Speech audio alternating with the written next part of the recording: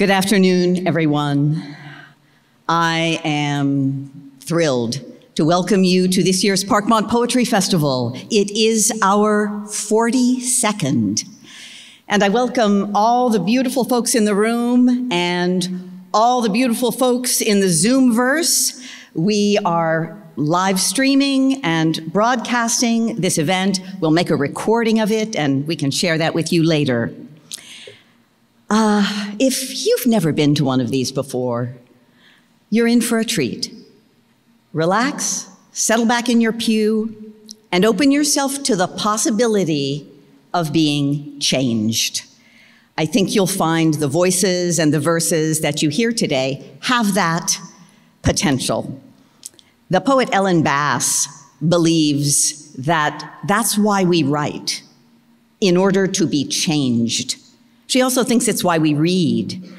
I will attest that it's also why we gather and watch and hear art, because it has a transformational potential. Parkmont School is a small independent school just across Blagden Avenue at the corner of 16th for middle school and high school students where we see and celebrate that potential for change every day in our classrooms, on our school adventure trips. And that's why it gave rise to the Parkmont Poetry Festival in 1982 Ron McLean and Judy Lentz started this venture that was kind of like our mission at our school. And our very first judge was Lucille Clifton, Maryland's own. Thank you for the hoots. It's a big deal. I will tell you that her spirit guides every moment of my coordination of this festival. We're very proud of that. I have a lot of folks to thank, and I'm not going to read all their names but most of them are in your booklet in the back. And if you need a booklet, don't have a booklet, we'll be selling them downstairs at the reception after the event. All the poets have two. Um, first, I, I want to thank our founder, Ron McLean, who generously sustains this festival now for 42 years. He is not able to be here, but I know he's out there on Zoom. Ron, Thank you for this. We have many wonderful supporters. Two in particular have thrown love at this event from the day I met them. Jackie Michael and David Weissman are just angels uh, of, of this festival. We are so very grateful for their support. Parkmont has an amazing board. They get us, they show up for us. We love our board. In the back of the, your book, you will see a list of all the teachers who sponsored Winning Poets. Many more teachers sponsored entries, but these finalist poets may have been nudged or, or uh, helped by a teacher. Every time I read a poem that crosses my desk for submission, I think, gosh, I wish I could be in that person's poetry class. Wow, how great to be their student. We have a cadre of volunteers from Parkmont, staff, kids, parents, board, pulling the levers behind the curtain, making the magic happen. We thank them. And our Zion Baptist team, uh, up there in heaven, up there in the booth, uh, our, our profound thanks to Eric, to Zainab, to um, Kevin, and to Shantae. They're more than neighbors. Uh, we're, we're more than just proximal with our buildings. They're collaborators. I want to say just a quick thing.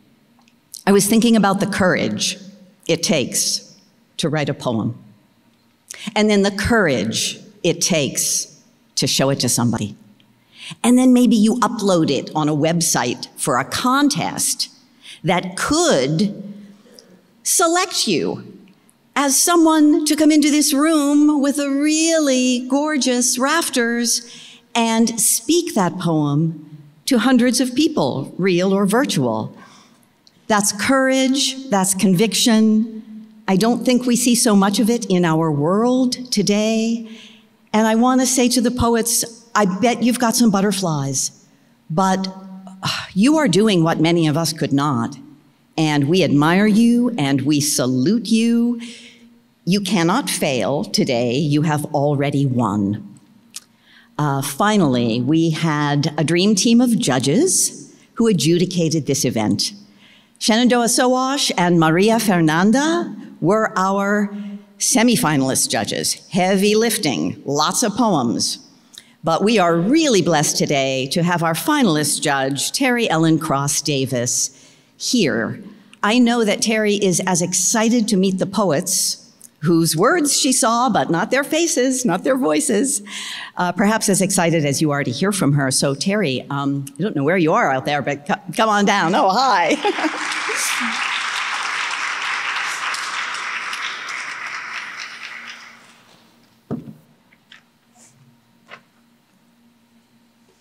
Oh, yay, there's a little stool for those of us who are vertically challenged. Uh, hello, everyone. I hope everyone's doing well. I want to say um, thank you, Kim. This was a joy. It was a joy to judge these poems. Uh, I was surprised by the depth and just the variety of imagery and language that you all, as poets, pulled into your poems to service the poem. And I just want to say congratulations to you all. And I want to echo something that Kim said. She unwittingly, uh, you know, beamed right into what I was thinking, and that is it takes courage to do this. It takes courage to put a pen to the paper and figure out your thoughts and un the spool of them, to let them unspool onto the page and have it make sense.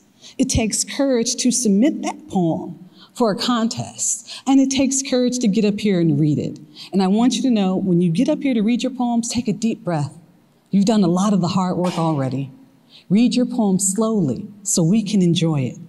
Okay? And I also want to tell you that maybe poetry is a hobby for you, or maybe it's a passion. And if it is a hobby or a passion, continue to do it.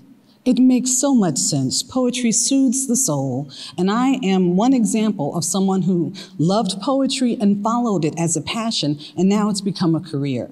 And how did it become a career? I started a poetry club in high school. I ran a poetry series in a coffee house in college. And now I curate the poetry series for the Folger Shakespeare Library. And it's a full time job, people. I get to read poetry books every day, all day. I get to meet great poets. We just had Edward Hirsch here the other night. And so I want to tell you there is a career in poetry, and there's a career in following your passion. If you follow your passion in life, you can make it work. And that is exactly what I have done. So I want you to continue to write. And as you write, please read. You heard Kim Schraff mention Lucille Clifton. Oh, it would make my heart sing, and I'm sure it would make everyone's heart sing if you picked up a Lucille Clifton book. Read Lucille Clifton, read Terrence Hayes, read your contemporary poets. Read those people who are writing these poems about this time, this life, this world. And I just want to say again, congratulations. I look forward to hearing these words come out of your mouths after reading them and sitting with them for so long on the page. You all have done a great job. You all are poets to me, and I hope you continue to write. Congratulations.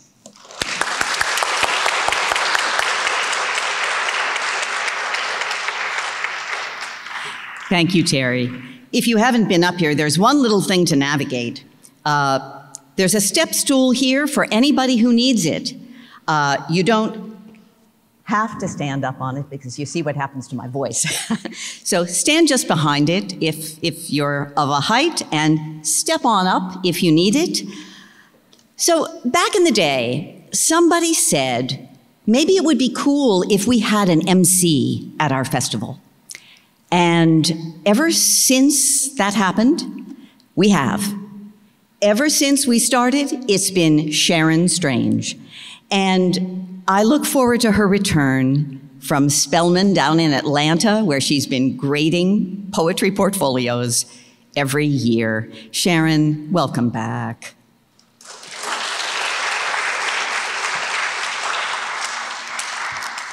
Thank you, Kim. Hey, Parkmont community. Hey, DC community. I miss you all, which is why I never refuse the request to come back and MC every year. I've been doing this for many, many, many years now, and I call it one of my favorite joyful acts of poetry uh, that I do every spring. It's National Poetry Month. Um, even though the month is ending in a couple of days, for me, uh, Poetry Month, Poetry Year, it continues, continues. So, in the spirit of National Poetry Month, I just want to start out by giving out a few shout outs uh, to poets whose birthday anniversaries are this week. And this is just this week alone. Uh, so, shout out to Marilyn Nelson, Natasha Trethewey, DaMaris Hill, Louise Gluck, Peter J. Harris, Carolyn Forche, and Yusef Komunyakaa, just to name a few um, well known and well established poets. Uh, some of them you may have studied. All right, so again, just from this week alone, so I challenge you to find out about poets who, other uh, poets born in the month of May, or just poets that whose uh, voices speak to you. Um, I also want to mention that today, April 27th, is the birth anniversary, the 79th birth anniversary of August Wilson. Technically not a poet, but August Wilson, the giant of American theater, whose 10 uh, play series uh, chronicles African American life sp- spanning a century over a century and is akin to the Homeric epics of ancient times of Mediterranean life and social upheavals.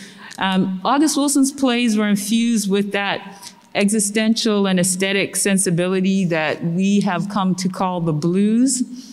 And so, speaking of the blues, brings me back to poetry and to another poet whose name I want to invoke today, even though he wasn't born in the month of May. Uh, Reuben Jackson, Reuben Jackson, the late Reuben Jackson. Um, yes, yes, uh, who sadly passed away this past February. But Reuben Jackson, who was also a Parkmont poetry judge several times over the years, um, he was a, a DC poet, a, a, DJ, a local legend, and really an unofficial poet laureate of Washington, D.C. Uh, he worked at the Smithsonian with the Duke Ellington uh, collection. Duke Ellington, by the way, his, his birthday's anniversary is April 29th, so a few days from now. He also taught at UDC. Uh, he was a jazz scholar um, for many, many years, a jazz DJ on public radio. Um, and, and jazz and blues sensibility infused Reuben's poems. So I just want to recite a brief excerpt from a poem of his, um, Self Portrait 1988. He had a very Lucille Clifton esque style to his poetry. Um, but here's a quick excerpt of his self portrait. He says, I am stubborn, broke, but mean well, and am trying hard to fuse my passions with the world's conventions. And I think in that brief excerpt, he captures what many of us poets feel at times, and also the challenge of poetry to find our um, passions and to fuse our passions with this world's conventions, and even to challenge this world's conventions through the expression of our passions in poetry. Um, so I think that's a fitting uh, place to leave off in thinking about this occasion, um, hoping that you are all finding your places in poetry, welcoming these young poets. Um, and their, their budding voices, the community of their teachers, families, friends, um, and this broader community of poetry in Washington, D.C., and the world, past and present, that is ready to embrace them. So, welcome to you all. Welcome to the poets. Welcome to everyone here to support them and to honor the work that they've done. I'm just going to go right into our program. My role here is to introduce the poets and to uh, say a few words about their poems. So you can follow along. I'm, I'm going to introduce them in the order that they appear in the booklet. So I'm very happy to start us off with, I guess it was maybe a little bit of a synchronicity that I ran into Ariel uh, uh, Ariel Stopak in the restroom before the program started. So a lovely person, just and I'm so excited to meet all of you. But first, let's bring Ariel Stopak up. Ariel is a ninth grader at Georgetown Day School to share her poem "To Tell the World."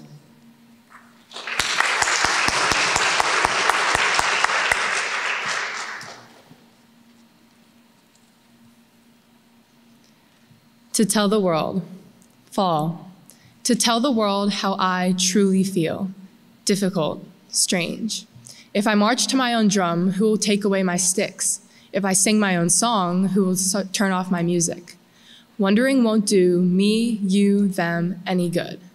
My voice, quiet for now. Winter. To tell the world how I truly feel, steady, balanced. If I listen closely, could I hear the beginning of a song? If I sing a note, could I start a crescendo? Wondering won't do me, you, them any good. My voice, a whisper for now. Spring. To tell the world how I truly feel, fluid, lifted.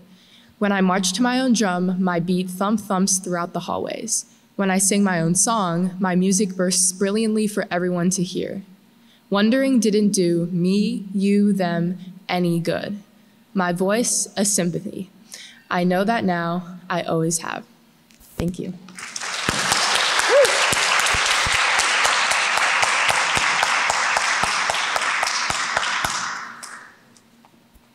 Okay, thank you, Ariel. Well done.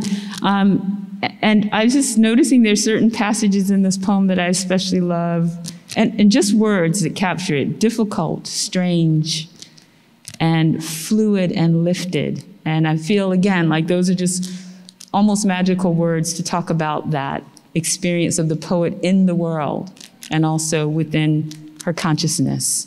So thank you for that beautiful poem that also ends with the lovely I know that now I always have, expressing that deep sense of knowing. So thank you so much. We're going a little bit out of order, um, so I'm asking you to turn to page 39 if you're following along in the booklet for our next winning poet's poem. She is Aria Song, a sixth grader at Sidwell Friends School.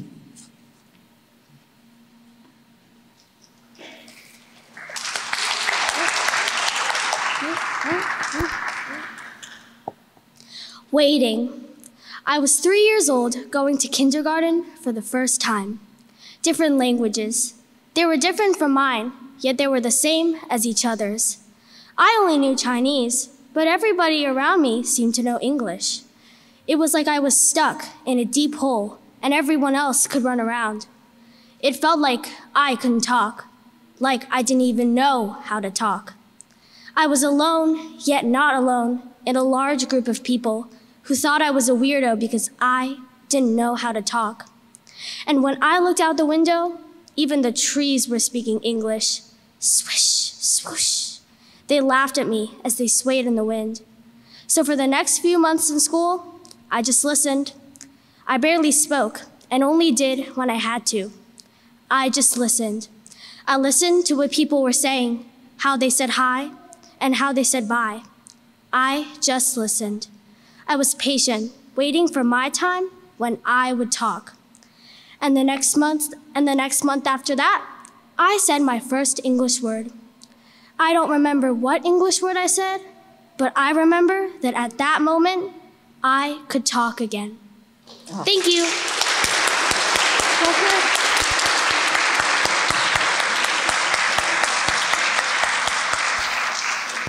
Oh, that was great, Aria, and I love your energy. I love the way you kind of bounced off a stage just now.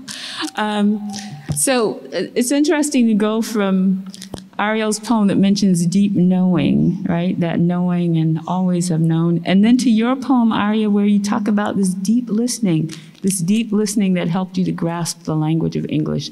And now you have grasped another language, which is poetry. So thank you for that wonderful poem. Okay, our next winning poet. So wonderful to have all of these poems that, again, sort of make us think about poetry in, in a um, figurative sense. Betty Getacho is a sixth grader at Sidwell Friends School. So please welcome Betty Getacho. Thank you.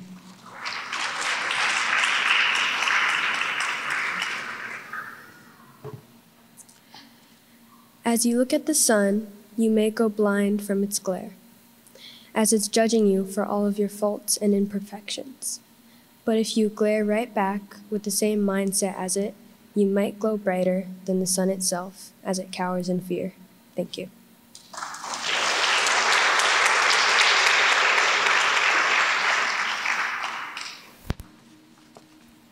Thank you, Betty. Um, even though you coached me, I, I apologize for the little s- with your name, Betty Gatticho. All right. Oh, also, the eclipse, right? This makes me think of the recent eclipse, right? And that whole urge that you have to look at it, look at it, look at it, even though they tell you not to look right? So I have to admit, I did kind of look at the eclipse when I wasn't supposed to. And what it does is it imprints its image on you, right? On your retina. It eventually goes away, thankfully, right? But, um, but that that relationship of like seeing right and fearing but looking anyway right and and in some way feeling triumphant because you did overcome that that stare yeah so thank you for your poem i'm not advising anyone to look at eclipses though. All right or or stare at the sun. But but metaphorically all right. Our next winning poet is Hadil Hamad, an 11th grader at the Paul International High School.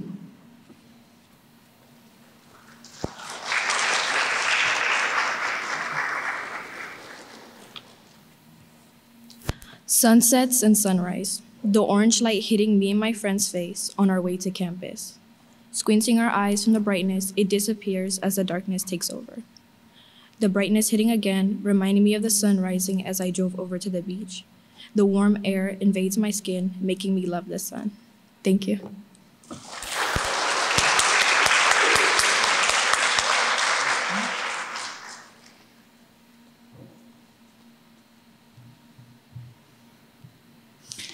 Okay, thank you for that poem, Hadil. Again, thinking about the sun. The sun is such a powerful metaphor, isn't it? It's such a powerful figure um, for just thinking about life and thinking about energy and thinking about relationship and, and connectedness. Um, so thank you for sharing your poem, which reminds us of that. And again, all right, I'm a poet, so I'm kind of geeky about all kinds of things. And sunrises and sunsets, you wouldn't believe the number of photographs of sunrises and sunsets that are on my computer.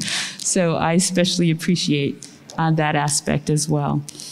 I want to um, ask students to come a little closer to the mic when you share your poems, uh, especially if you're soft spoken, uh, so that we get you all the way in the back. All right? Thank you. So the next poem, Sorry, is by our winning poet Everly Geyer, a sixth grader at Sidwell Friends School.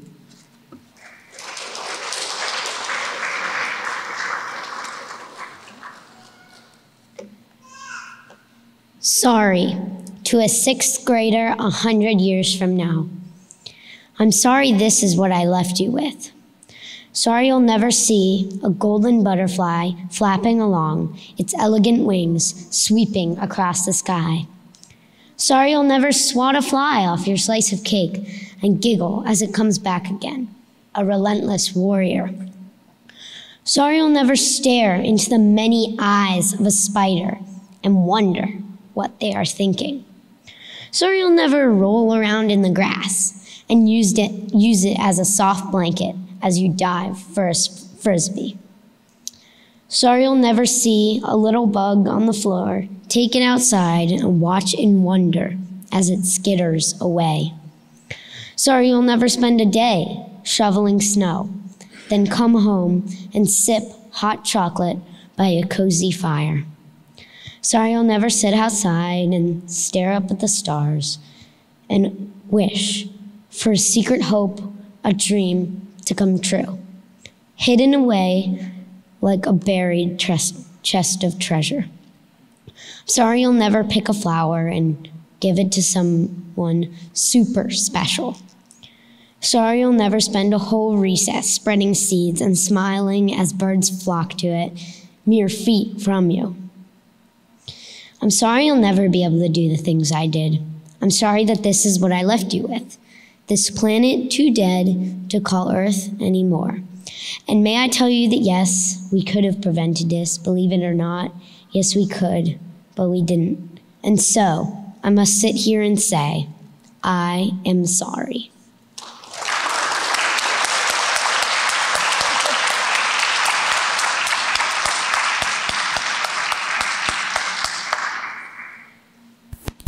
Thank you, Everly. I, I want to comment too on how well you read your poem. I just love the way that you all are um, just hitting those intonations and those expressions that help us to understand uh, the meaning of your expression, the passion of your expression. Um, and, and this type of poem, this apology, we call it this apostrophe and apology together, really, um, is so thoughtful and so beautifully done and manages to capture, I think, those aspects of nature that we all need to be stewards of more to, to in, in, a, in a way, nullify the message of this poem, hopefully. But thank you for sharing that. All right, so uh, let's welcome our next winning poet, Chris Settle III, who is an 11th grader at Gonzaga College High School.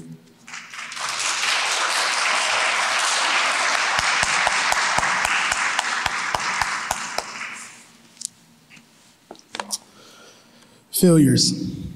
In shadows deep, where dreams do fade, a life once vibrant, now betrayed. With every step, a stumble, a fall echoes of failure, a haunting call. Ambitions lofty, like fleeting mist, grabs too eagerly, then dismissed. In the tapestry of time, a frayed seam, weaving tales of a broken dream. A symphony of sorrows, a mournful tune, played on the strings of a heart, marooned. Hopes lie scattered like autumn leaves, crushed by the, wet, crushed by the weight of unmet beliefs, Yet in this lament, a whisper of grace, resilience rising, a steadfast embrace. For in the ruins of what might have been, a chance for rebirth to rise again.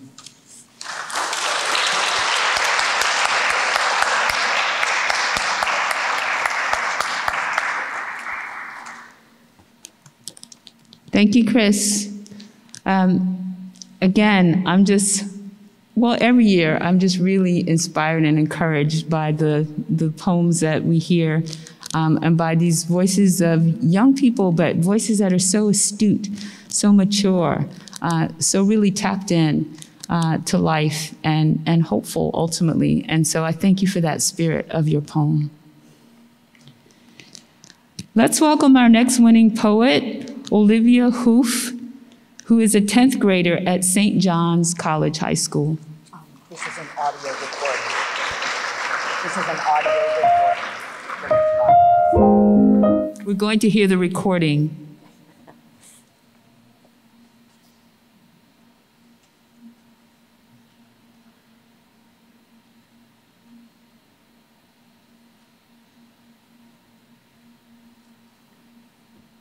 It'll be worth it.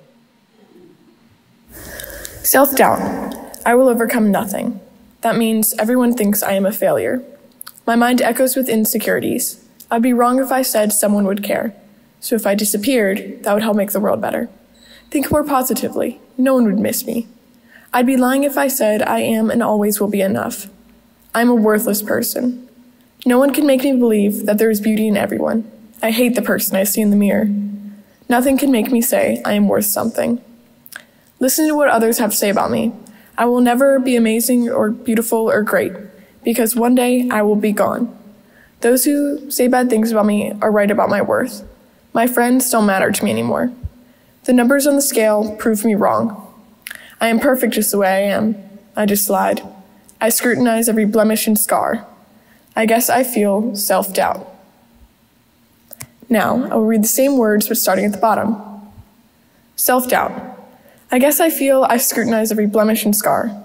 I just lied. I am perfect just the way I am. Prove me wrong. The numbers on the scale don't matter to me anymore. My friends are right about my worth. Those who say bad things about me, be gone, because one day I will be amazing or beautiful or great. I will never listen to what others have to say about me. I am worth something. Nothing can make me say I hate the person I see in the mirror. There is beauty in everyone. No one can make me believe that I am a worthless person. I am and always will be enough. I'd be lying if I said no one would miss me. Think more positively. That would help make the world better. So if I disappeared, someone would care. I'd be wrong if I said my mind echoes with insecurities. Everyone thinks I'm a failure. That means nothing. I will overcome self doubt. Thank you.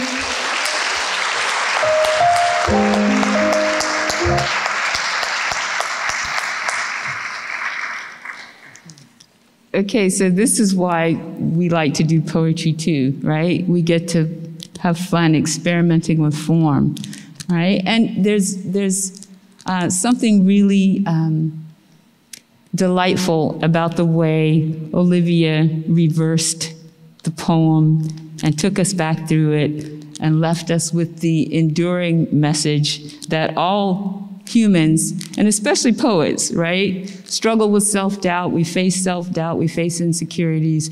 But in the end, right, it helps to remember how powerful we are and how much our voices matter. So thanks to Olivia for that wonderful poem.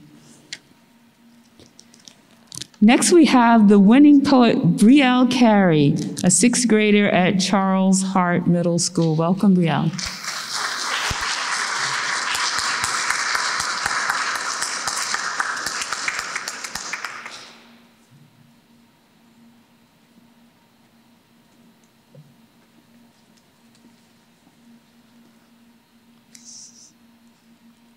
Brielle, chaotic, impure, sharp, and inconsistent, daughter of a bee and a hornet, sister of emerald, pearl, and pink quartz, lover of crafting, Melanie Martinez, and anything so colorful it's blinding, who feels hidden under some cheap charade of boring clothes and ideas, who finds happiness in rainbow loom bands, kittens, and here even though you fall down the stairs sometimes.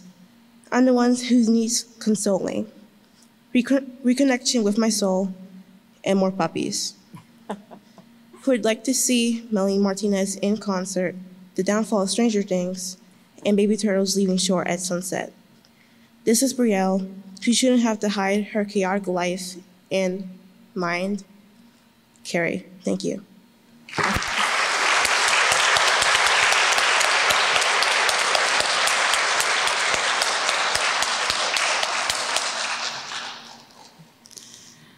Thank you, Riel, for that lovely uh, self portrait. Yes. Um, chaotic, sharp, and inconsistent, maybe, but certainly self assured and someone I could relate to who also wouldn't mind seeing the downfall of Stranger Things. So thank you for sharing that.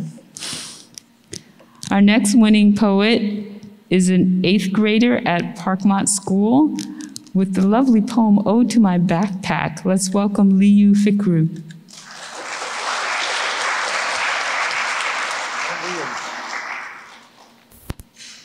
Ode to my backpack. I should have said I'm sorry, but I don't think that my backpack would have accepted that. With the way I invade its privacy, my arm becomes a shovel when digging for a pencil. With the way I toss it like a frisbee, knowing it'll crash like an egg, with my notebooks and computer as the yolk. With the way its bright lilac fades into a rough purple grape that people couldn't even be bothered to name. With the way its brown edges look like a flower after playing Does She Love Me or Love Me Not, as the Jansport logo loses its grip and is only holding on by a thread. With the way the tar stained backpack straps support the entire operation. Each crease I make brings them to life, into vertebrates violently screeching in vain. Yet they remain staunch soldiers under the terror of my shadow. Thank you. Good job,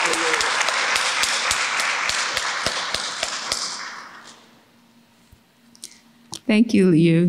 That's a lovely poem. And I think about how, uh, as teachers, we often tell our students in writing poems, like you want to think about your subject matter and make the strange familiar and make the familiar strange. And so you managed to do a little bit of both of that in talking about your familiar backpack. So thank you for your poem. Our next winning poem, My Wish, is by Hallelujah Sirafel, a 10th grader at the Field School.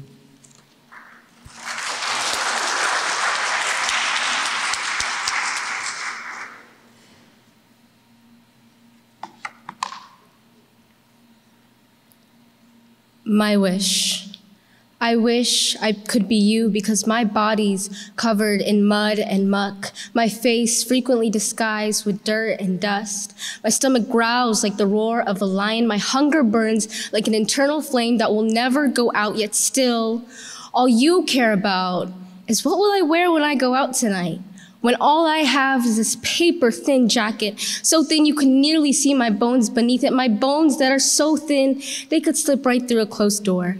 Jacket so thin it can't even keep me warm, warm as this brisk, bone chilling winter nears. But I wish I could be you. Look at a full plate of food and still complain. Have more than enough clothes, yet still want something new. Wish the shoes on my feet weren't falling apart, falling apart like the roof above my head, my home not a house, more like a shed, standing on its very last thread. And every night I hope and pray it'll hold together just for another day. Man, I wish I could be you because so far on my time on this earth, the only lesson I've learned is life may never go my way. I may not know that mx plus b is equal to y, but I know that you and I have completely different lives. Because while I live a life you would never want to live, you live the dream, my entire fantasy. Oh, I wish I could be you. Never wonder if my house would collapse on me. Sweep me away with an avalanche of debris.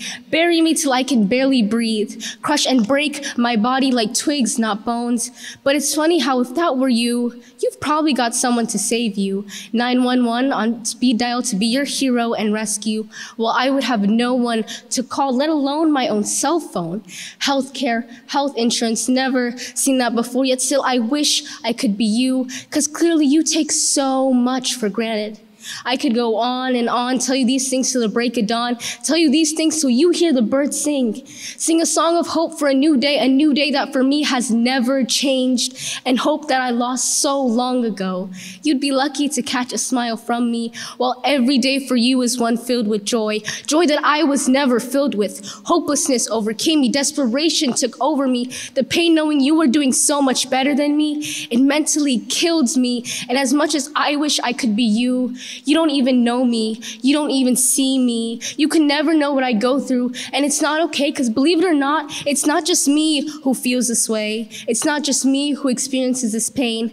There's almost a billion other kids out there just like me, fighting for all of the same opportunities. God knows when we'll be saved from this nightmare.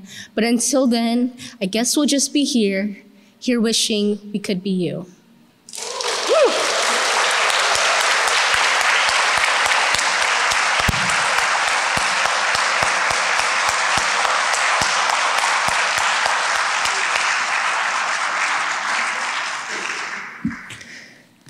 Thank you for that poem, Hallelujah. Um, thank you for the vulnerability and the honesty of that poem.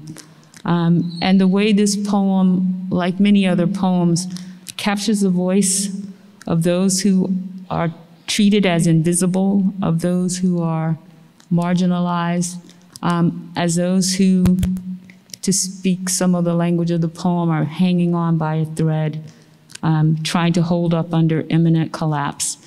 Uh, so thank you for such a powerful poem that, uh, that makes us again consider um, why poetry is so necessary, uh, and, and, especially um, beyond its more personal uh, aspects, but in terms of a, a broader social consciousness. So it's a powerful poem. Thank you. I want to welcome now our next winning poet, Daphne Easterly Zebley, a 10th grader at the Maret School.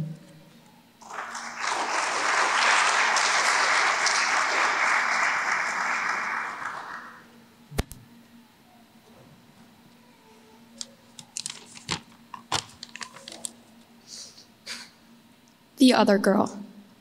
Every day I see a perfect girl on the street. The one that balances 15 extracurriculars and has exceptional grades, maybe, a boyfriend, a proportional body, a pleasing personality. The one that ends up at Harvard effortlessly. And although she is in my path for fleeting seconds, from sunrise to sunset, breakfast to dinner, winter to summer, I want to be her. Go on long walks, wear jeans that look like they were made just for me, and for once be the poem, not the poet, effortlessly. I stay up late at night, wishing, wondering, weeping while life goes on without me. But then I question whether it's truly as glamorous, as silky smooth as vanilla icing on a cake. Does she stay up late too? Does her mascara drip down her cheeks? Does she look at her body in the mirror with disdain? Does she regret her Harvard decision? But most of all, do we all stay up at night, infatuated with one another, the other girl who lives a life effortlessly?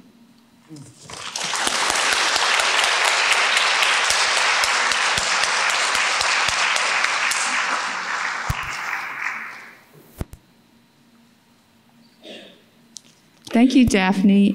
Again, another beautiful, astute poem uh, about the interior consciousness. Uh, we think about ourselves, we think about others.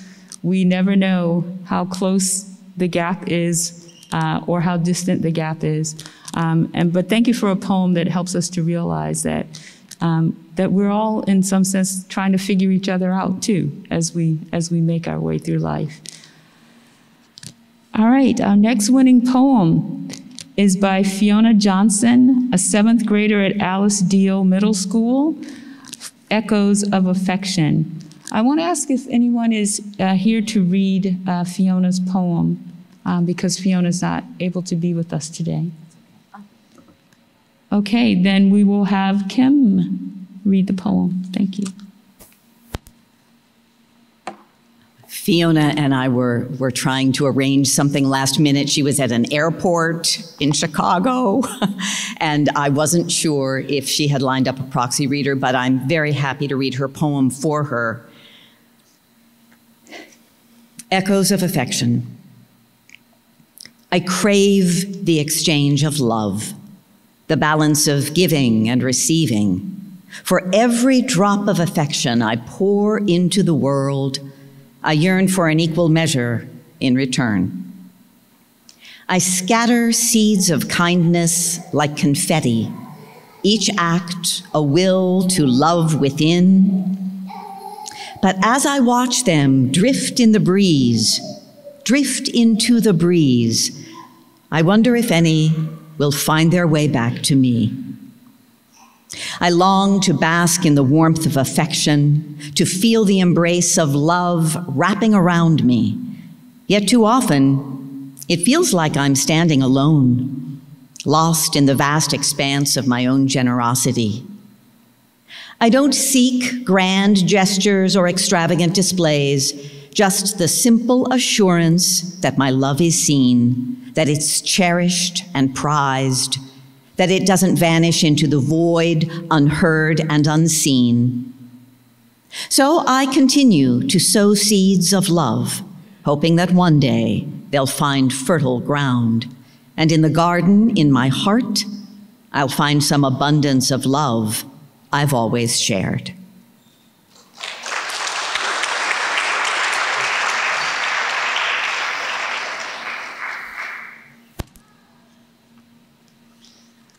Thank you, um, Kim, for reading that. And thank you to Fiona for this wonderful poem. I'm just blown away that by this poem. Um, and it makes me think I get to invoke Lucille Clifton again um, here. Uh, Lucille Clifton uh, once said her, her definition for poetry that kind of stayed with me is that um, that poetry is really a mutual act of exchange. And so this poem sort of speaks to me in lines like the balance of giving and receiving. Um, and you know, finding abundance in the love that I've always shared. So I just love the way that, again, the poem for me invokes that spirit of poetry, right? That spirit of poetry as one of, you know, exchange, right? Between the poet and the world. Our next winning poet is Hiba Hamad. Hiba is an eighth grader at Paul International Middle School.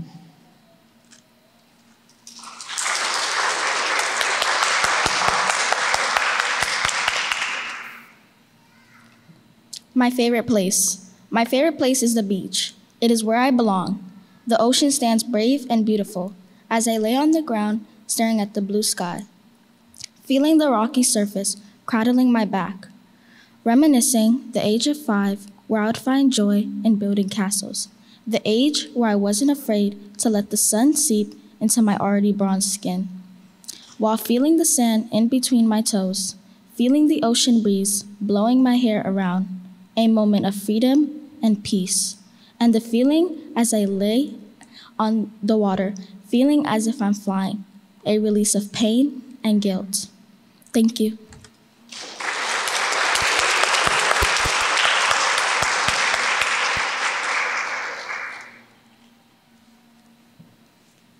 Thank you, Hiba. I think we can all relate to that, yes? Right? And I think we all crave that, right? That feeling of freedom, that feeling of peace. So thank you for so beautifully capturing that sentiment in your poem. I want to call up next to the mic our winning poet, uh, Nora Gifrida, a ninth grader at Sidwell Friends School.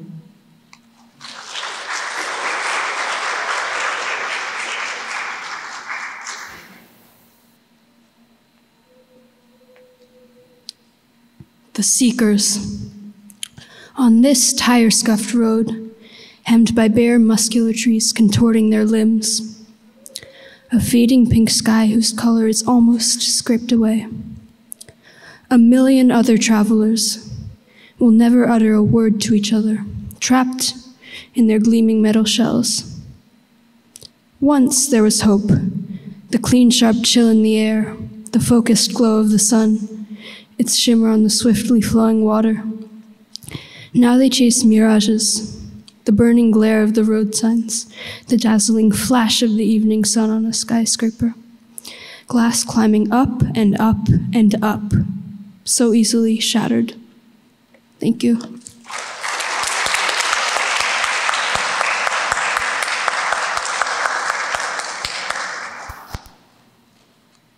Thank you, Nora. Oh man, that is such a stunning poem and so powerful in its images.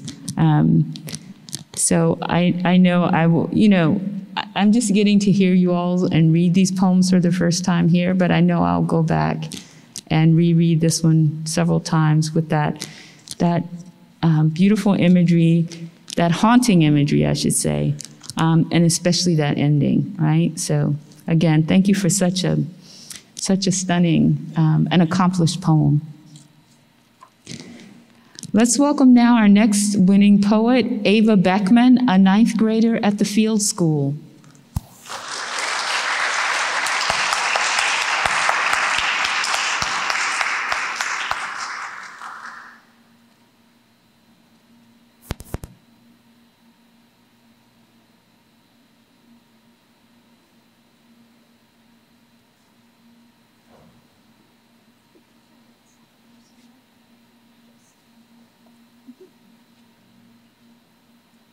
Just, what do you think? How, how long? Yeah, no problem. Why don't you sit right, right up here and we'll wait.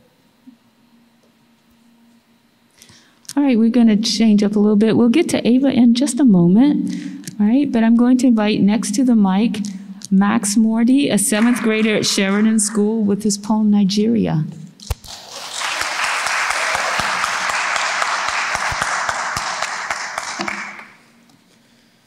Nigeria.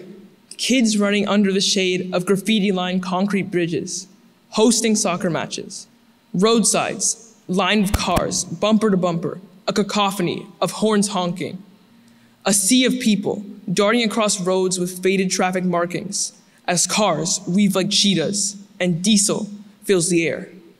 Nigeria, rays bouncing off rusty cars, soaking into the black windows determined street hawkers selling goods to captive drivers, catching them with paintings and chocolates, a bright blue sky replaced by an ocean of sandy gray, blown in from the Sahara's sands.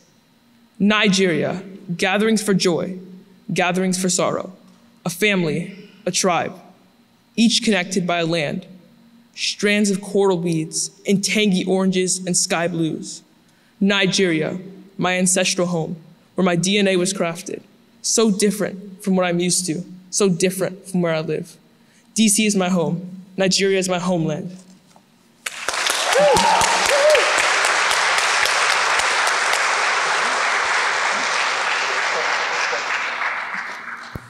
Thank you, Max. And I love the energy with which you read that poem. Like you, you really made us feel your connection to Nigeria. Um, and I love the vivid cinematic quality of the first part of your poem. And then it sort of takes us inward into your consciousness and your connection to your homeland. So thank you for such a beautiful and accomplished poem. All right, Ava, you ready? So now we have Ava Beckman.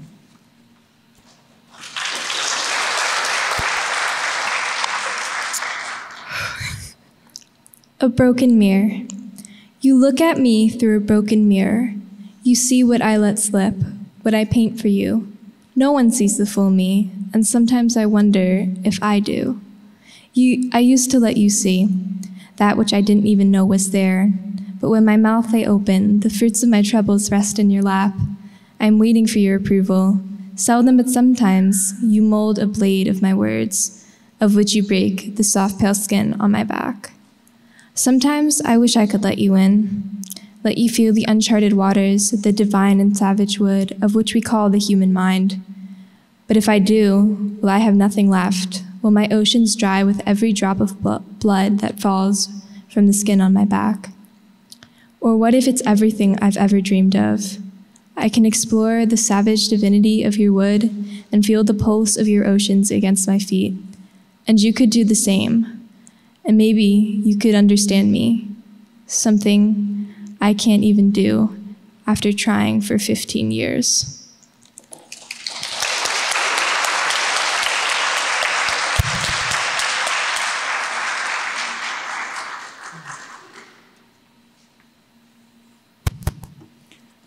Thank you, Ava. Uh, again, I'll mention just the, the vulnerability of some of these poems and just, it's just wonderful how you all have learned to use language uh, to lay bare some of your longings as, as well as some of your wounds. Um, and just some of the language of the poem here, again, it just uh, catches my breath just to hear and read some of these words.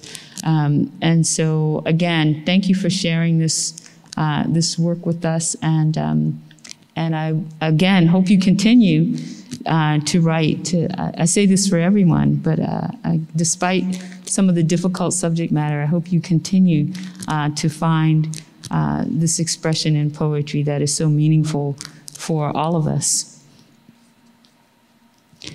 So, our next winning poet is, uh, and please forgive me if I mispronounce your name, but Aya Teti, an eighth grader at Center City Public Charter School in Brightwood.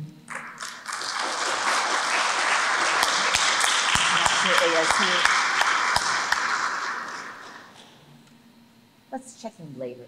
Okay. I, I, think we expect uh, Aya, mm-hmm. but uh, they're not here yet. Okay. So um, we'll, we'll circle back.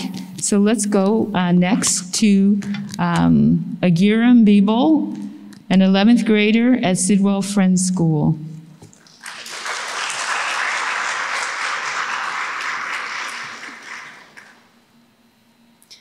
Naturalization Oath. I hereby declare to live and die for the promise of a nation unattained, a freedom song written in lyrical falsehoods. To seek purpose in an aimless pursuit, never once questioning whether the destination truly justifies the journey. I pledge allegiance to the flag, red as the blood soaked soil of the stolen land, white as the bones buried six feet under hills of forgotten history, blue as an ocean salty from ever flowing tears. Star spangled dreams eclipsed by stark reality, illusory, illusory as a mirage in the desert. The way one can bear true faith and allegiance to a state where truths are self evident only for some. To kill for peace and divide for unity, to support autocracy in the name of democracy. Working harder for less, aching limbs and heavy heart, and is this justice? Mind struggling to align with the tongue in its foreign abode, twisting and contorting into each painstaking syllable. The way one can say neighbor and really mean enemy. When borders are not nature born but man made, when equality is both the sentence and the reprieve. So tell me once more what it means to be a citizen. Thank you.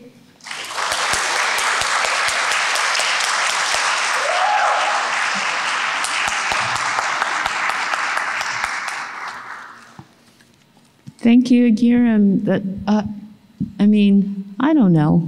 I can't, I can't really follow that. I mean, I think the poem says it. It says what it needs to say. Um, and it reminds us again uh, that poetry is also about the business of unmasking. It's about the business of uh, challenging and revealing truths that we may not want to hear. Um, so thank you for that powerful poem, Agira. And now I invite to the mic our next winning poet, Dwi Nguyen, an 11th grader at Jackson Reed High School.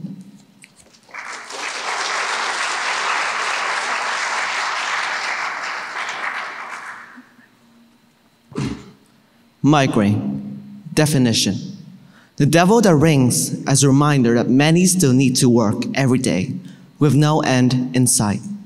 That is a common symptom for us migrants when we stress about our standing ground, our slippery voices, and our pocket sized authority.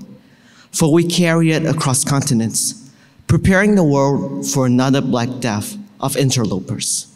Such symptoms do not go away, even with my grandma's magical lotion, as she rubbed my stomach with it to polish and bless me before the plane leap of destiny, or whenever I seem to just have a normal ache. But it is just that desire to live has no place within the center of migration, especially when you are about to get shifted on the plane of white promises to a hometown on a stranger land that does not prescribe on how to deal with the migraine when it rips apart your roots, tripping the ankles of your culture, distancing it far away from the airport when you last took your flight here. Your heritage disappears within your life of work your Jack the Ripper identity dilute into the toxic city air that you breathe in instead of your hometown. Then, where is homeland now when the migrant still strides, flying between the wires of stability and poverty, hurting our essence through each of the migrant swing, breaking many, such as job opportunities, the thought of not being uprooted again, actually fitting in, a cozy home authentic food, healthcare. We are like porcelain, broken on the ring. We migrants are in a never ending war to reach higher than our current place on the hierarchy. One look at our muddy faces, and you can see how the migrant fumble features and pass on, swinging on the chains of our ancestors as we wear them every day. We even try to hide it, the migraine, through hard work and detachment but we all know migraines can never be unglued when the damage is everywhere. Thank you very much.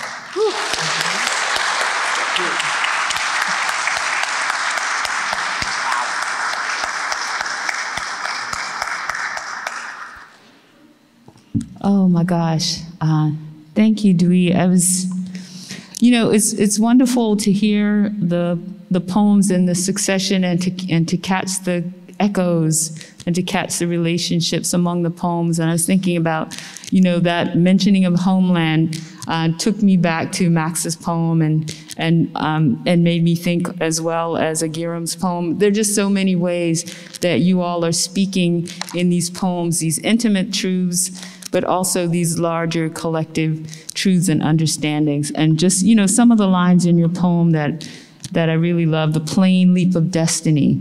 Um, flying between the wires of stability and poverty and and how migraine the migraine fumbles features. It's just it's just again um, just lovely to hear uh, that astute expression of ideas and feelings. So thank you for that poem.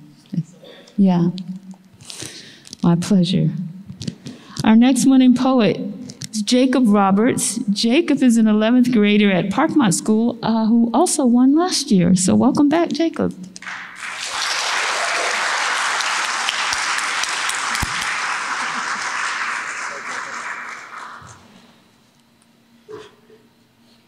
I wish I had a sweater, the only thing I need. Things would be better, my heart wouldn't bleed. With silent whispers, if I had a sweater. Looking for my sweater, I'm yearning for my warmth. Seems impossible to find, still waiting on my true north. Maybe it's all in my mind, but if I had a sweater, if I had a sweater in the dark of the night, when the trees dance and sway, and only a glimpse of moonlight, when my sadness comes to stay, when I'm whispering wishes only heard by the breeze, when I'm sitting in silence, if I had a sweater, I'd have a moment of ease. Oh, how a simple sweater would make things so much better. Will help me not remember that one dirt December.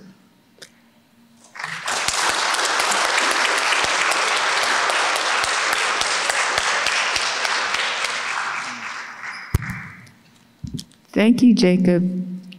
Uh, there's a kind of sly quality to this poem that I really appreciate, and actually made me think of Reuben Jackson. I mean, it's just it's the quality of some of his poems. It seems simple, sparely stated, but then there are these deeper truths and understandings underneath it, and then oftentimes that that ending.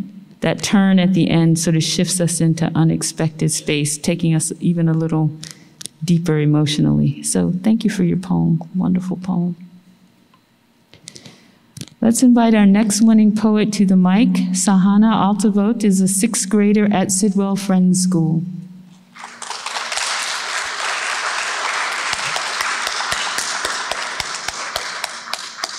Ten thousand branches. Why does the weight of 10,000 branches always come crashing down on my shoulders? Bend, not break, they say.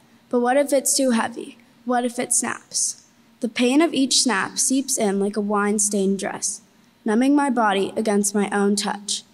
As I listen to all 10,000 branches come, come, come crashing down like a bang on the door, begging me to open up. Thank you.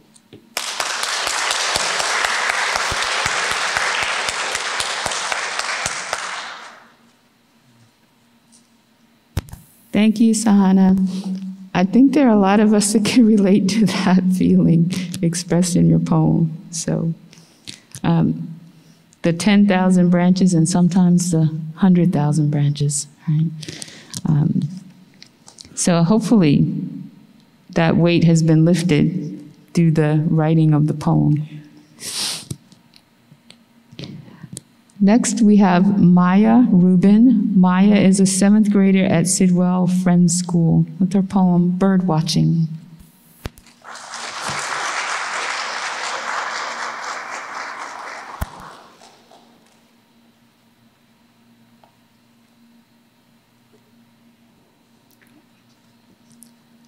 Bird watching.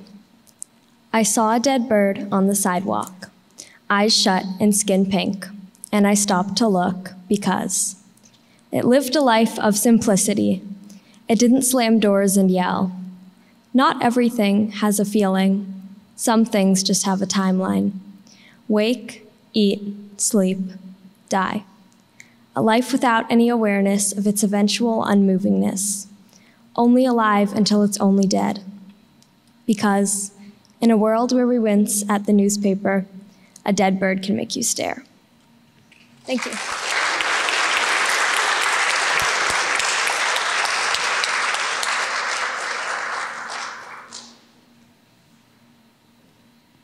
Thank you, Maya. Um, I should also say that Maya was also a winner last year, so congratulations on your winning poem this year. Um, and again, I think about the way that the poem takes a turn from the just from the title right into the first line of the poem. It upends our expectations. Um, when I first saw the title, of course, I was ready for that, you know, that kind of pastoral poem, right? But but here we have a poem that, again, thinking about the economic uh, and um, climate crisis that some of the earlier poems gave uh, gave us some um, ways to think about this poem is in keeping with that.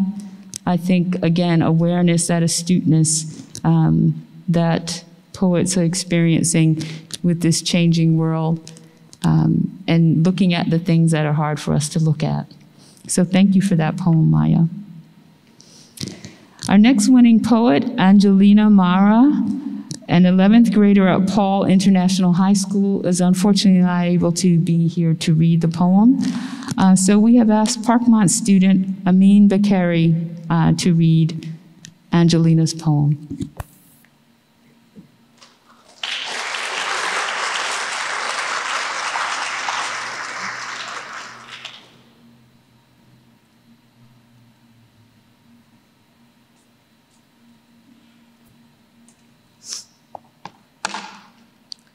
Petal. The trace you leave behind feel unfamiliar. Droplets invade my eyes when I see you. Petals break off the stem as the breeze blows against you. I can't stop the emotions. Brightness turns to darkness, just like petals.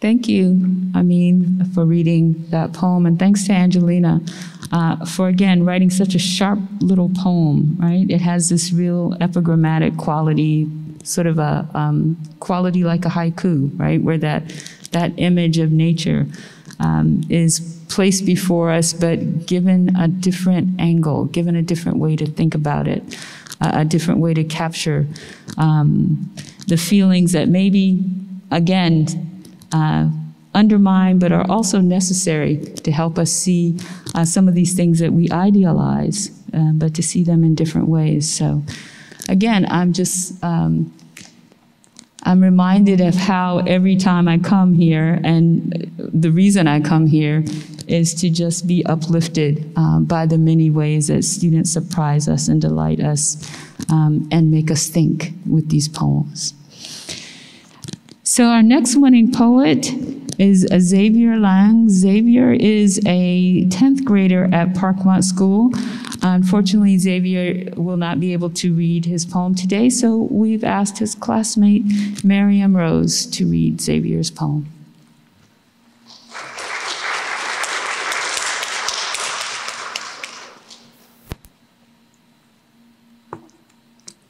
The Crimson. Ruby red tomatoes, rush upwards.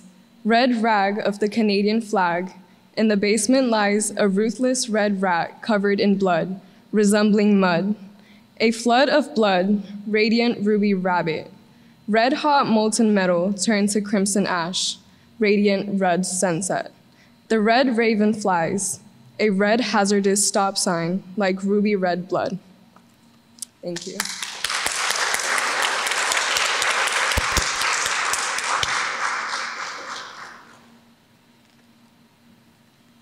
Thank you, Miriam, and uh, thanks to Xavier for that poem. Again, a way to um, use imagery in such a striking way, uh, and to use these uh, metaphors and uh, symbols in such a way to help us appreciate something that we maybe, again, think about in a more mundane way. Colors are all around us. Um, my students this past semester uh, have been uh, looking at uh, the literary fragment. This sort of makes me think of um, Maggie Nelson's book Bluets. I don't know if you all are familiar. It's a book that is obsessed with the color blue. And so uh, it's a book that has hundreds of fragments, uh, all focused on the color blue. This poem brought that to mind. Um, and Xavier approaching it color in his own way. Our next winning poet is Kimberly Pereira Alvarez, a seventh grader at Center City Public Charter School in Brightwood.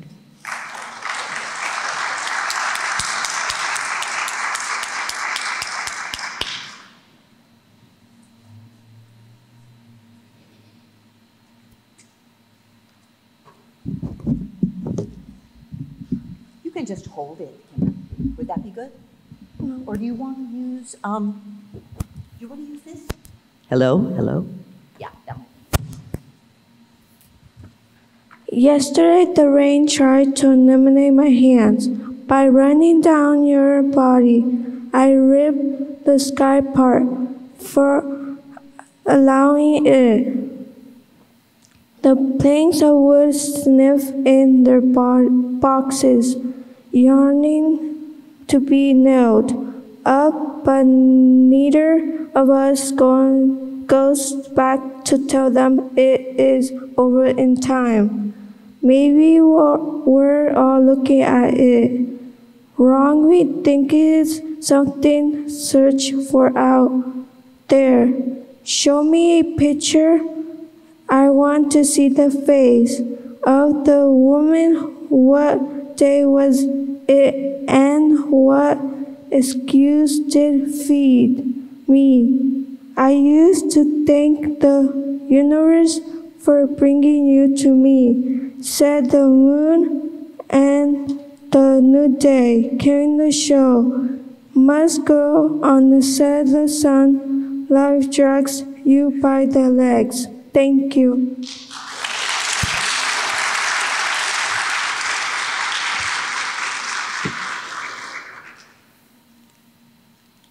Thank you, Kimberly, and well done. I love this poem. I think this is a brilliant little poem. This is a brilliant poem, and every stanza in it feels like a new poem, and it feels like um, that real sense of poetry that Emily Dickinson described as like feeling the top of your head blown off because it just opens your mind up to seeing things and experiencing things in a new way.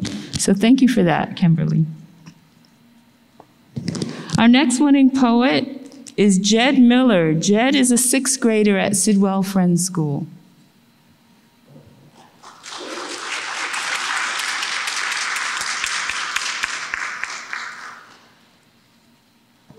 Too many names.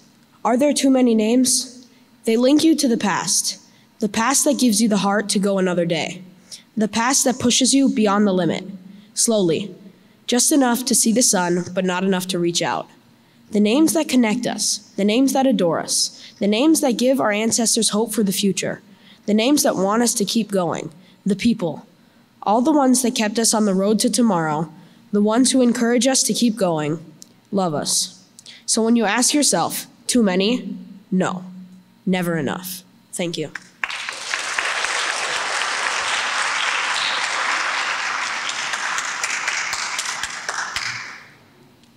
Thank you. That's a great poem, Jed. And I love this um, where you say the names that connect us, the names that adore us, right? I just love that reminder of the connection of lineage, the connection of generations, uh, the connection going back, back, back infinitely to the source and forward, forward, forward.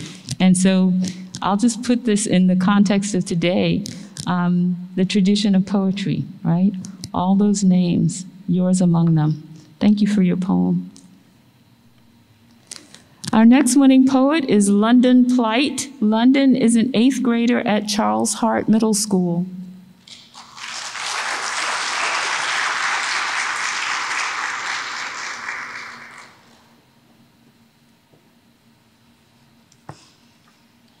Confidence.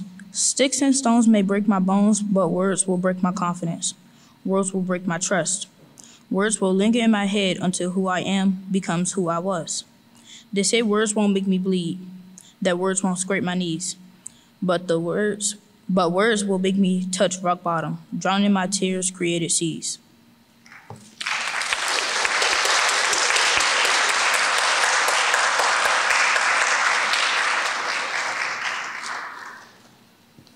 Thank you, London. Um, yes. Oops. Right. Hoping I haven't broken the mic. Um, yes, it's it's a good reminder again of the power of words, but the power of words to break us, but also to make us. So, uh, so I hope you continue to revel in the use of words through poetry um, to build that confidence. Our next winning poet is Christian Lafleur, a sixth grader at Sidwell Friends School.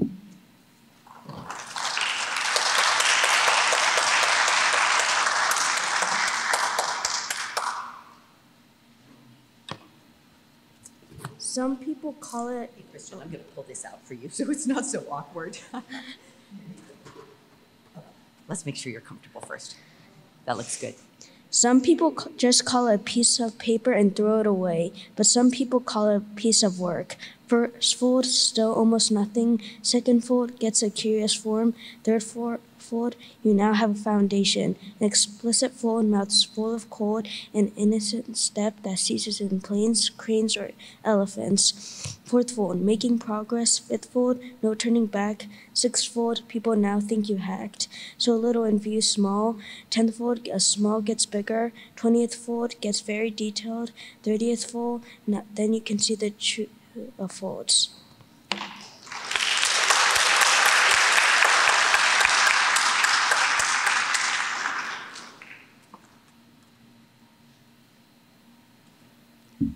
Thank you, Christian.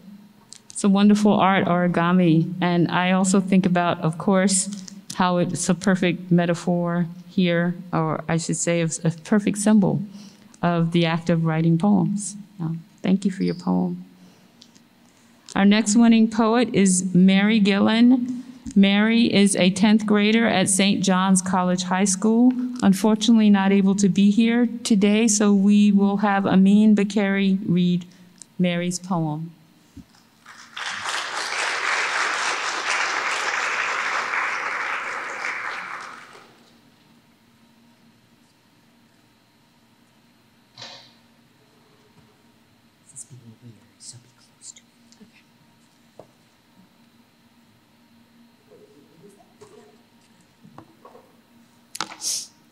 Six feet.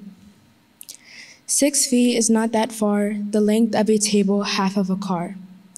Six feet tall is my father's height, the length of my dog leash. It's not that far, right? Six feet is the distance from my sister's bed to mine. I can move six feet in almost no time.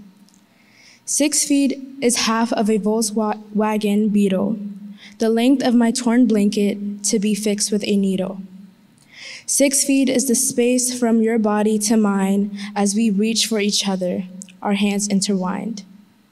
Six feet is a family, two parents, one child, whether healthy and strong or sick for a while. Six feet makes the family of three go to two. It feels close till the six feet affects you. Six feet, where the sick father goes, you think it's not real till the coffin door close. Six feet is a li- lifetime away, the furthest distance of all, some might even say.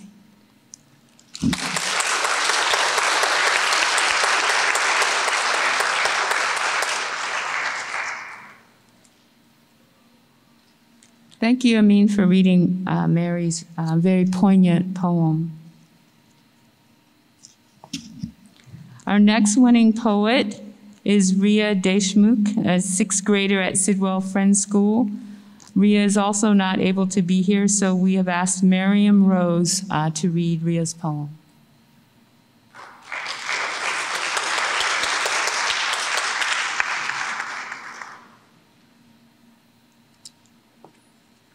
Fighting just to smile. My memories of you are limited, but I do remember the light that shined in your eyes, no matter the occasion, and the way you fought until the end, fought just to smile, to express your unconditional love to us before your final moment.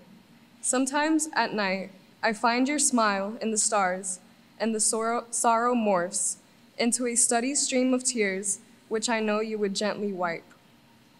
If you are still here with me, but then the topic of your resilience flies into my mind, and I think how of I think of how even when you've lost it all and you couldn't recall the precious moments we had shared anymore, you fought just to smile. And so I did too. Thank you.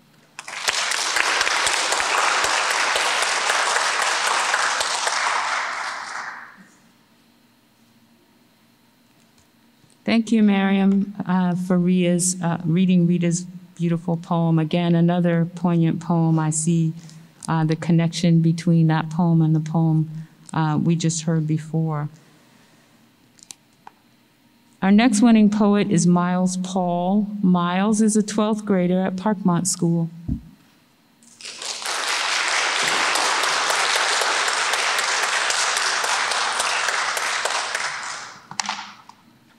It's hard to put emotions into words years of thoughts, feelings onto a single page. Everyone, everything you say just doesn't come out right.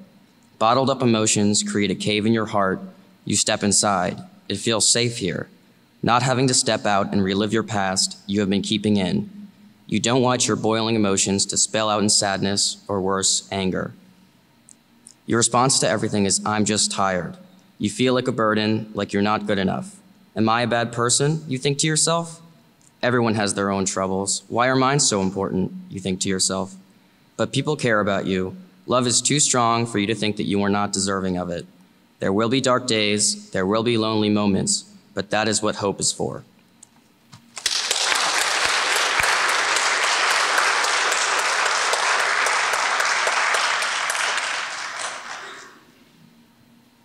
Thank you, Miles. Um, again, a very accomplished poem, and I think your poem speaks to a feeling that a lot of your peers, this generation, that we are talk, calling the post-pandemic generation in some some places, um, how you capture that resilient spirit that at least adolescence, but not just adolescence, some of these external things uh, have forced you all to face. So thank you for capturing that in your poem. Our next winning poet is Violet Higley. Violet is a ninth grader at Washington International School.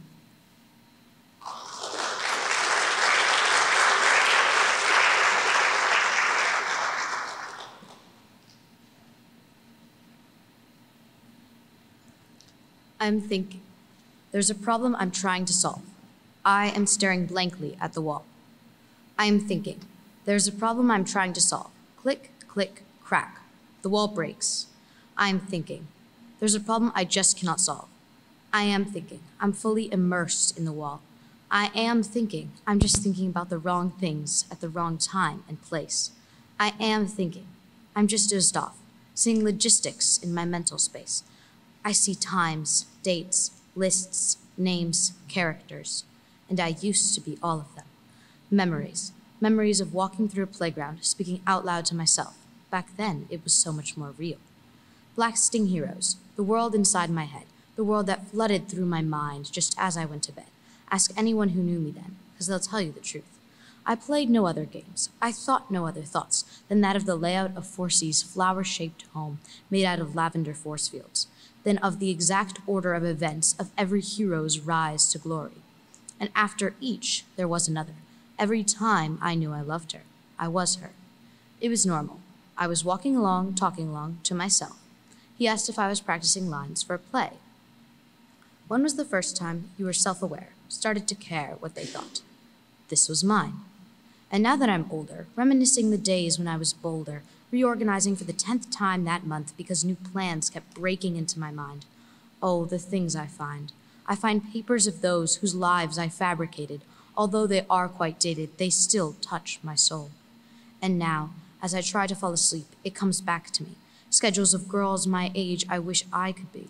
A match, a spark, a fuse, a flame, a fire, eternally burning me from the inside out and I'm forced to write crazy schedules of made up strangers before I can close my eyes. I open them. They're gone. My mind is good as new. My day seems pretty normal, and through the rest of it, I flew. I'm sitting down in class, staring at the wall. Just one click of a pen, and then through the wall again.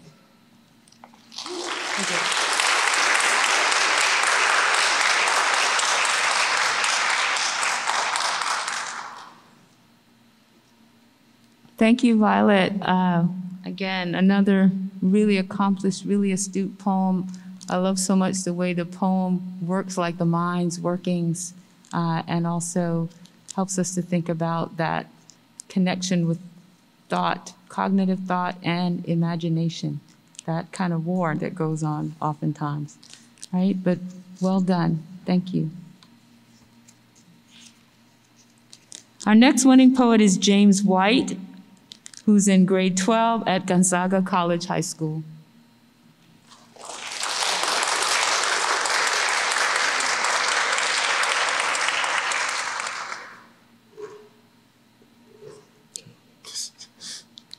Every Sunday, in response to Henry O. Tanner's painting, The Banjo Lesson. Every Sunday after church, you would teach me.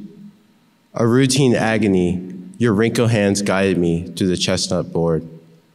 And when minutes turned to hours, and when flinched fingers retreated from sharp strings, you would force me to continue. And when the crimson liquid oozed on the plain white canvas, you forced me to continue. And when the tears showered the blood clean, you forced me to continue. When several Sundays caused your grip to fade and your voice to diminish, I didn't mind. It was a comforting relief. Every Sunday when you could no longer give me lessons, I would play on my own. Every Sunday when you could no longer hear my progress, I would play for the unknown. Every Sunday when you could no longer breathe, my banjo must continue your tone. Every single Sunday, I play for joyous crowds with tears in my eyes, longing for one more Sunday when I would sit on your lap and you would teach me to play. Thank you.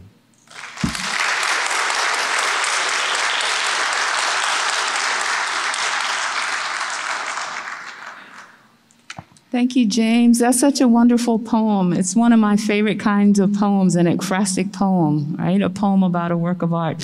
And this is such an amazing, beautiful work of art. Ekphrastic poems help us to uh, describe works of art, but they also help us to imagine their meaning and even to place ourselves within that work uh, in the way that you have done so beautifully here. So thank you. Our next winning poem is by, oops, there's a skip. Was about to announce Aria again. All right, our next winning poem is by Makias Zito, who also won last year. Yay, Zacchaeus, a 10th grader at Parkmont School. Come on up.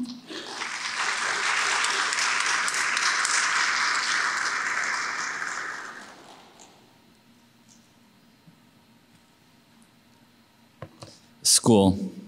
As, as the clock ticks and the wind blows, I find myself lost in thought. My mind on hold, for the door stares back at me with its big eye, as if it's mocking me in my cell. As I am jailed with longing to be freed, but for now, I am imprisoned. As a teacher milks the time for all it's worth, making me feel like a prisoner on this earth. As the week comes to an end and the weekend comes, as the cycle repeat again on Monday.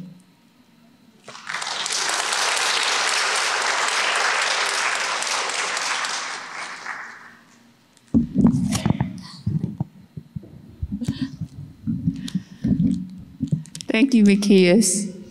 This, uh, this might be a statement too related to your poem. I feel your pain. from, the, from the teacher's side, the other side of the desk, we feel your pain. so there's an option. So there's an option to, uh, to use the handheld if this does not want to behave. and I'm if we can hear that one. Yeah. Okay.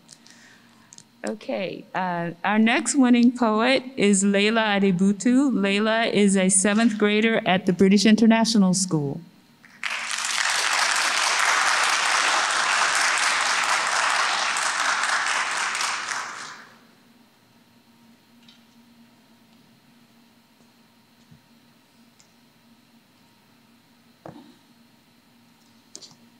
Sweet tooth. I have a sweet tooth. It aches. Sorry. Yeah, it's very weird. Do you want to try without the stool? And let me see if I can anchor this for you. You know what? Do you mind? Thank you. Good. I have a sweet tooth. It aches, remembering the delicate taste. I'm going to stop you again, Leila. We want, we want a, a straight through read, and Eric is going to help us. oh, thank you.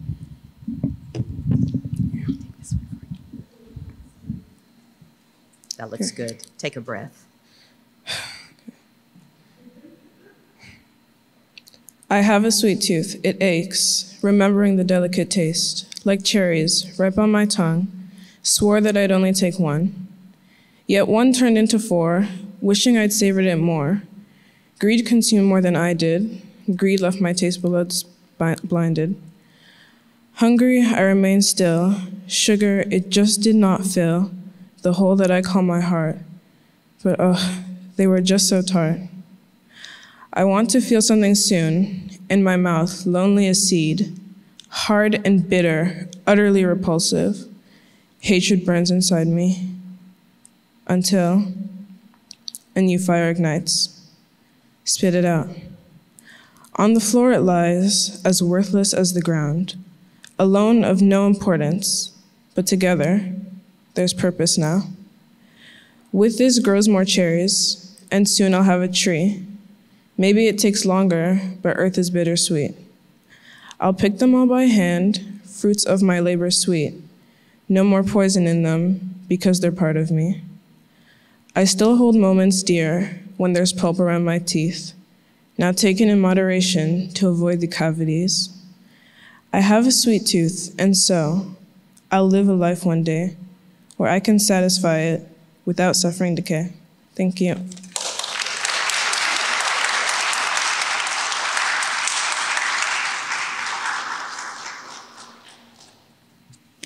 Thank you, Layla.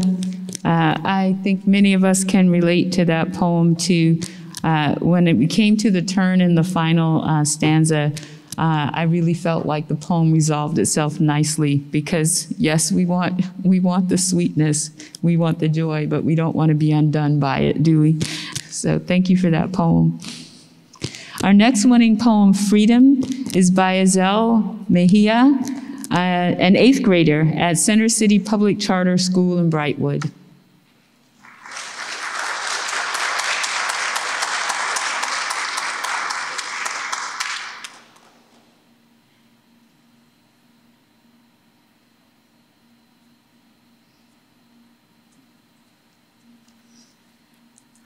Freedom, freedom, noun. Having the power or right to speak or do with their own choices. As in, mom doesn't let her daughter speak. Daughter tries to speak with her own voice, but mother ignores her and keeps talking over her, making her daughter invisible like she's not there. That's why she needs freedom.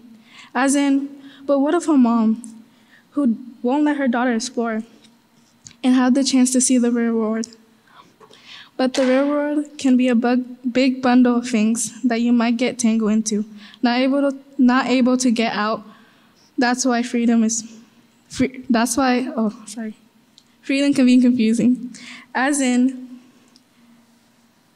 she may seem strict or even unfair, but her love is deep, and she truly, she truly does care, making sure you are safe. But her, but mother has decided to give you freedom, so you can explore the real world.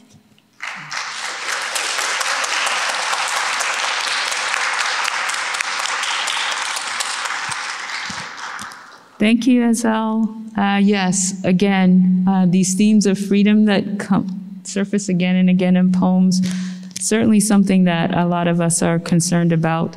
Uh, at your age, a lot to contend with when dealing with parents, right? But again, as you say, who care for you, and the freedom is one that uh, will be cherished because it has been uh, allowed you to choose for yourself.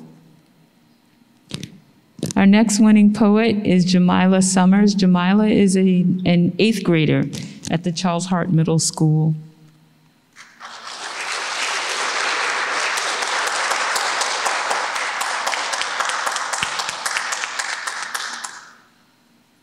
Oh, wow, I'm tall enough for the mic. Young, free, and smart. I know I don't know much. Well, not as much as you. I don't understand the joy of plain living or the useless of things, but being young is a pleasure. Taking the first steps of time, creating a new history. We may not know all, but that doesn't mean we are empty minded. We understand a lot. As you think your final thoughts and walk your final walks, read this and know the future is bright, not brainless.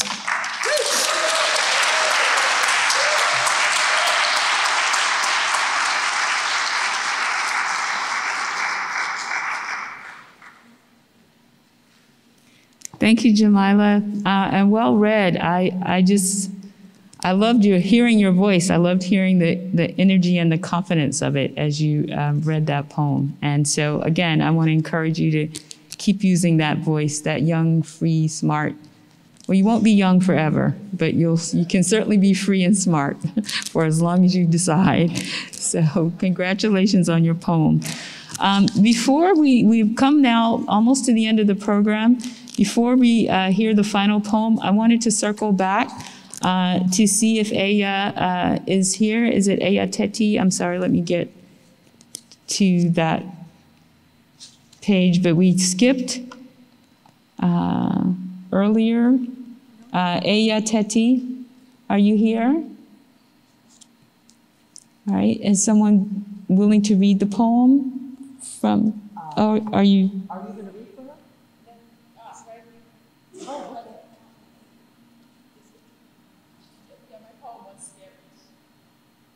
Oh, how on earth did we do that thing? Yeah.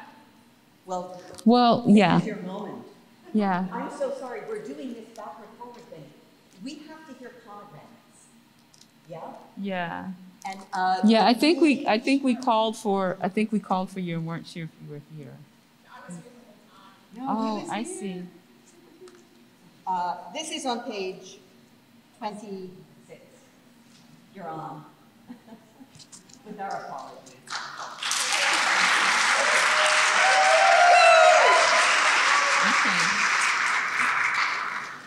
Pomegranates. The enjoyment of a pomegranate is not something that needs to be rushed. It is a gentle, misunderstood fruit. We must pretend to know what it says. Each shallow cut into the shell, each careful tug to reveal the iridescent insides, watching the jewels be pulled from the stringy white flesh. The process is time consuming and is one of the most beautiful feelings. We stand and struggle. We watch the fruit bleed onto the wooden counter. To see something so misunderstood leave such a permanent, broken mark. We breathe in, inhaling the aroma a forest, a flower, a tree. The skin is tough, blocking others from accessing its garnet fruit. Squeeze it, they said. Squeeze it and it will break. You do not squeeze it. You cut it open, revealing the clusters of jewel like seeds. They are surrounded by translucent, membranous pockets. The pomegranate is pure, yet as flawed as the love of Hades and Persephone. My dad would peel a pomegranate for me, but use it as a way to draw me back. Drag me to the hell from which I came, I scream. He does not listen. The pomegranate is a joyful fruit. The pomegranate is seasonal, a specific memory. The juice will stain forever, it will never leave. My mom teaching me to cut it, my dad watching with disdain. My mother held my hand the first time I had a pomegranate. Be careful, for this is the fruit of love. She pulled me into a hug. She showed me how beautiful love was from the start. I failed to listen. I wish I had. The pomegranate is not meant to be mutilated. It is meant to be carefully taken apart with love. The love a mother has for her child, the love a flower has for the sun. We peel a pomegranate the way a mother tucks her child into bed. We peel a pomegranate the way the sunflower turns to face its only true match. We listen to the pomegranate. We hear it beg. We hear it scream with every touch. So we make sure that each touch is full of love. Each touch leaves a mark that isn't a bruise. A pomegranate is beautiful, messy, and raw. It is kind, gentle, and desired. It is patient and rewarding. I am a pomegranate, and you are the one to peel me. I feel your hand strip me and pull out each individual seed. I do not scream or complain. This is different from the other times I was opened. It is a touch of love, not of greed. Thank you.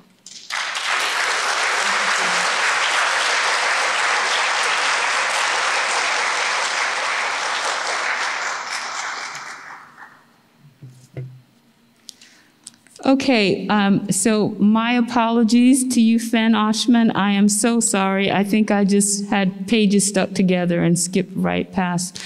And so it would have been criminal for us to have missed hearing you read such a wonderful poem. Um, and, and it's funny because I love pomegranates. I've written of pomegranates myself. I love the, you know, some of the lines in your poem about it being a joyous fruit.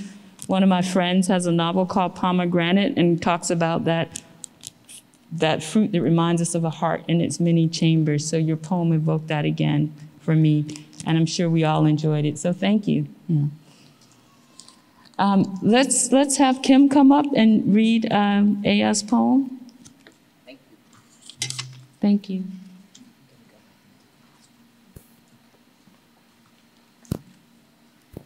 I know we were expecting Aya, so I want to do one more. Hello? No, okay. Well, we should hear the poem Ewe, to the best of my research. Ewe. Ewe, the language and culture in Togo and spoken language in a few other countries in Western Africa. The language that no one knew about because some people never heard of it, and other certain people thought the official language of Africa was Africanish. Ewe, the culture that my family grew up with throughout the years of our lives. Ewe, incredible and complex dances that even if you tried, it would make you look as if you were doing the chicken dance. Trust me, it has happened and has ended in tears. The tradition with the music that is sung by a bunch of uncles that have no hair and hide their heads with hats. Ewe, the culture that decided to name me after the day of the week that I was born Ask me what my name means, I'm going to say Thursday. Ewe, the culture and identity that only I know and cherish because I'm the only West African in the, this class. Sometimes I feel unique, and other times I still feel unique. Ewe, language spoken in Togo and other Western parts of Africa, the language that I admire and live by.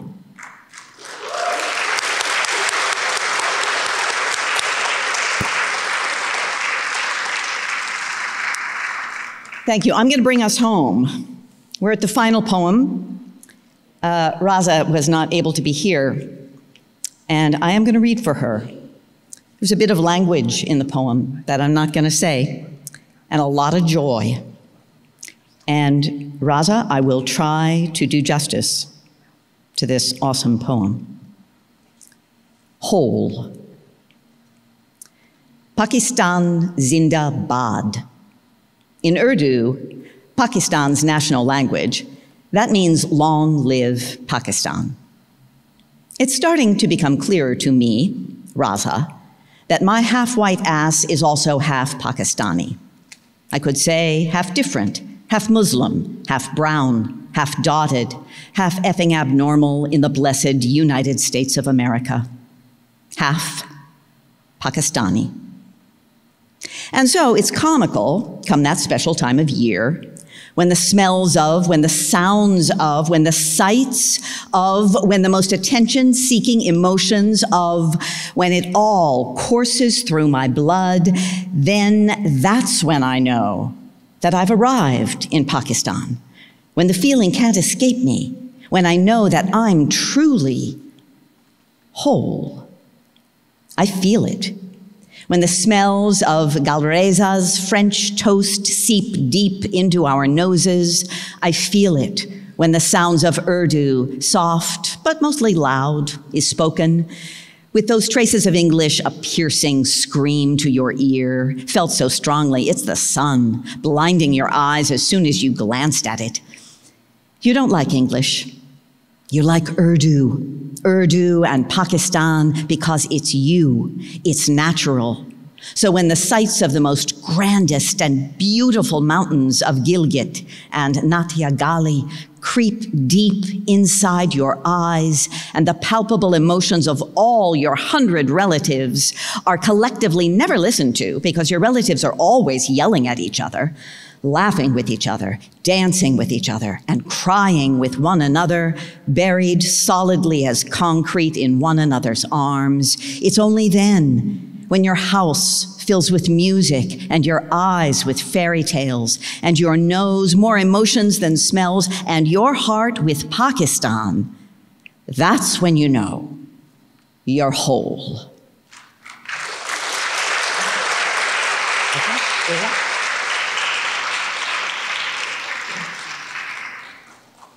Oh, okay. It's not done yet.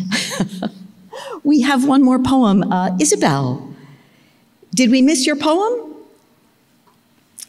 What, what is our problem up here? Please come forward and share the mountains with us. Uh, again, with our apologies. She's going to be worth waiting for. There you go. Sorry. Mountains big with purpose, the sky full of limits to break, and me, a person full of imagination. Thank you.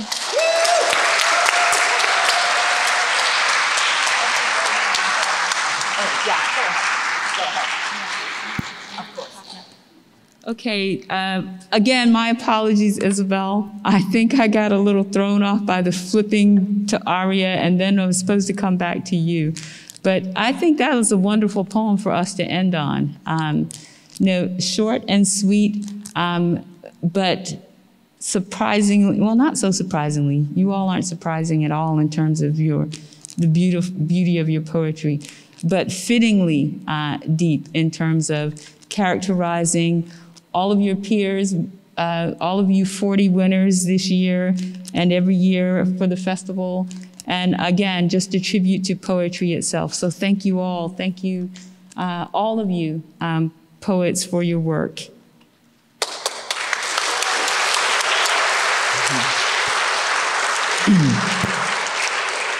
Thank you for being here through our um, through your successes and our gaffes. Uh, we have more donuts, cupcakes, gorgeous pastries with and without gluten downstairs than uh, you can shake a stick at. But before I invite you to a reception, I want to say a very brief announcement. Um, gosh, I'm thinking about our first poem, Telling the World, Your Voice a Symphony. When do, when do you ever feel that? Maybe not in a lifetime. Maybe it takes a lifetime before any of us can say, Yep, I'm whole, I'm complete, it's all there. Uh, but these are opportunities to do that kind of reflection at the age of 12 or of 18. And we need your support to keep doing the Parkmont Poetry Festival. Uh, we have a, a gloriously generous donor who has offered to match gifts up to $10,000. up to $10,000. So your $10,000 gift uh, gets us 20. Um, is that how it works? your five gets us 10. Uh, please think about sharing a little bit or a lot uh, with our festival. There's a QR code in your book, or find any one of us, anybody in a, in a volunteer t-shirt. Um, we would be we would be happy to welcome you into the fold. Uh, thank you, poets. Thank you, judges. Thank you, teachers. Thank you, families. If you can, come downstairs and, and mingle. We'll have a little, little community in the fellowship hall. Thank you.